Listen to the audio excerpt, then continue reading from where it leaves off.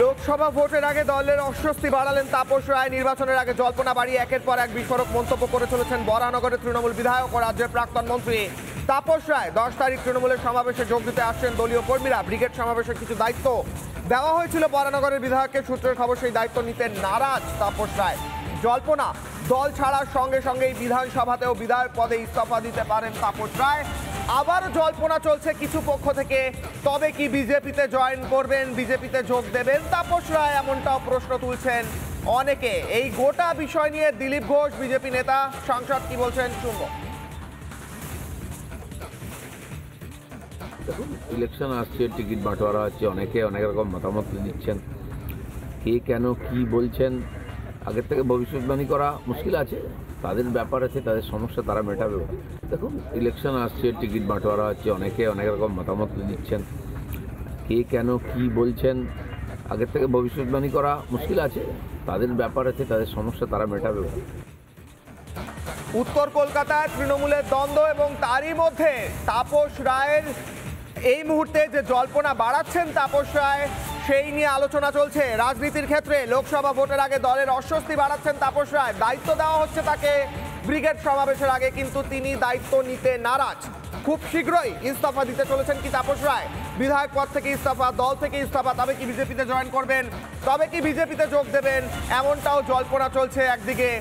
আরেকদিকে জল্পনা চলছে তাপস রায় এই মুহূর্তে কি করতে চলেছেন? কারণ একের পর এক যে মন্তব্য করছেন তাপস রায়, সেই মন্তব্য ঘিরেও বারবার আলোচনা উঠে এসেছে রাজ্যে। যে মন্তব্য করছেন তাপস রায়, সেই মন্তব্য থেকে স্পষ্ট আদৌ তিনি খুশি নন দলে থেকে। এবং দলে থেকে কাজ করতে পারছেন নাকি তাপস রায়? যে যে কথা বারবার বলে থাকেন বিভিন্ন নেতারা এবং দল ছাড়ার আগে, সেই কথাই কি বলতে চলেছেন এবং দল ছাড়তে চলেছেন তাপস রায়? এই নিয়ে চলছে জল্পনা, তৃণমূলে চলছে জল্পনা। দশ তারিখ তৃণমূলের সমাবেশে যোগ দিতে আসছেন বহু কর্মী। সেই নিয়ে দায়িত্ব দেওয়া হয়েছিল তাপস রায়কে। তাপস রায় দলের মুখপাত্রেরও মুখপাত্রেরও কাজ করেছেন বেশ কিছুদিন। তিনি দলের হয়ে কথা বলেন, মিডিয়াতেও বাইট দেন, মিডিয়াতে বক্তব্য রাখেন। হঠাৎ করে হেন তাপস রায়ের কী হলো যে তিনি উল্টো সুর গাইছেন, সেই নিয়ে প্রশ্ন উঠছে তৃণমূলের মধ্যেই। তৃণমূলের মধ্যেই প্রশ্ন, তাপস রায় কি তবে এবার দল ছাড়বেন? কারণ তিনি যেভাবে মন্তব্য করছেন এবং দায়িত্ব দেওয়া হলে দায়িত্ব নিচ্ছেন না, তাতেই স্পষ্ট হচ্ছে দলে মোটেও খুশি নন তাপস রায়। একটু আগেই দিলীপ ঘোষের বাইক শোনালাম। দিলীপ ঘোষও বলছেন, ইলেকশনের আগে, ভোটের আগে এরকম ঘটনা হতেই থাকে। এই দল থেকে ও দলে যাওয়া ইত্যাদি কি ইঙ্গিত করছেন দিলীপ ঘোষ? তবে কি তাপস রায়ও যাচ্ছেন বিজেপিতে? প্রশ্ন উঠছে, লোকসভা ভোটের ঠিক আগে কি সিদ্ধান্ত নেবেন তাপস রায় সেই নিয়ে জল্পনা গোটা রাজ্যে? বিধানসভার বিধায়ক পদ থেকেও কি ইস্তফা দেবেন তাপস রায়? তারপর কি করবেন? বিজেপির হয়ে ভোটে দাঁড়াবেন? প্রশ্ন উঠছে। তাপস রায় একদিকে যখন জল্পনা বাড়াচ্ছেন, অপরদিকে উত্তর কলকাতায় তৃণমূলের মধ্যে যে দ্বন্দ্ব, সেটাও বারবার স্পষ্ট হচ্ছে। তৃণমূলের মধ্যে দ্বন্দ্ব উত্তর কলকাতায় স্পষ্ট হচ্ছে এবং অপরদিকে তাপস রায়, তিনি বলছেন, তিনি এমন মন্তব্য করছেন তাতে যেন মনে হচ্ছে স্পষ্ট হচ্ছে দল ছাড়তে চলেছেন তাপস রায়।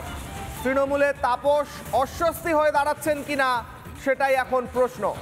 জেলার কর্মীদের দেখভালের দায়িত্ব দেওয়া হয়েছিল তাপস রায়কে, তিনি সাফ জানিয়ে দিয়েছেন, তিনি এই দায়িত্ব নিতে নারাজ। দলের সাংগঠনিক দায়িত্ব তিনি নিতে নারাজ। গতকাল এবং গত পরশু যে মন্তব্য করছেন তাপস রায় বারবার, সেই মন্তব্যতেও বিড়ম্বনায় পড়ছে তৃণমূল কংগ্রেস। এর আগে মিডিয়াতে, সংবাদ মাধ্যমের কাছে বারবার দলের হয়ে দলের মুখপাত্রের কাজ করেছেন তাপস রায়, তিনি বক্তব্য রেখেছেন দলের পজিশন স্পষ্ট করে দিয়েছেন সেই তাপস রায়, যিনি দলের হয়ে কথা বলতেন, তিনি উল্টো সুর কেন গাইছেন সেই নিয়ে প্রশ্ন। আমাদের সঙ্গে টেলিফোন লাইনে রয়েছেন কংগ্রেস নেতা প্রদীপ ভট্টাচার্য। প্রদীপবাবু রিপাবলিক বাংলায় আপনাকে স্বাগত। তাপস রায় কোথাও যেন উল্টো সুর গাইছেন। দিলীপ ঘোষ বলছেন যে ভোটের আগে হয়তো কোনো পাল্টাপাল্টি হতে চলেছে। আপনি কি মনে করছেন প্রদীপবাবু? হ্যাঁ এটা স্বাভাবিকভাবেই ঘটছে। এটা একেবারে যে ব্যতিক্রমী কিছু ব্যাপার চলছে তা নয়। তার কারণ হচ্ছে এদের হাব, ভাব কাজকর্ম সেগুলো দেখে মনে হচ্ছে ক্ষমতার ভাগাভাগিতে এমন একটা পর্যায়ে পৌঁছে গেছে। অনেকেই যে এখন পয়েন্ট অফ নো রিটার্ন এসে গেছে। ক্ষমতা হজম করার জন্য যে ধরনের ব্যক্তিত্বের প্রয়োজন, এদের অনেকেরই নেই সেটি।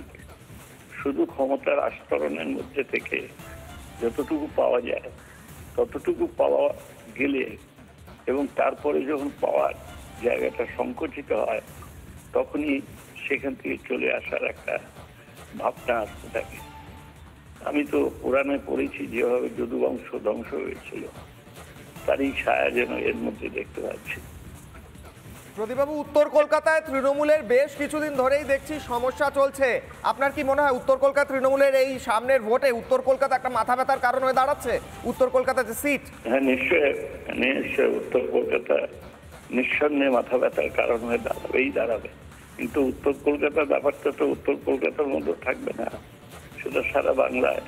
এগুলো এক ধরনের ভাইরাস মনে রাখবেন, পার্টি, যে কোনো পলিটিক্যাল পার্টি ইন্টারনাল বিরোধ যেটা তৈরি হয় যখন সেই বিরোধটা ভার্টিক্যালি হরাইজেন্টালি স্প্লিট করে যায় এবং এটা করিয়ে দেয় স্প্লিটটা এক ধরনের পলিটিক্যাল ভাইরাস এই পলিটিক্যাল ভাইরাসটা ছড়িয়ে পড়েছে।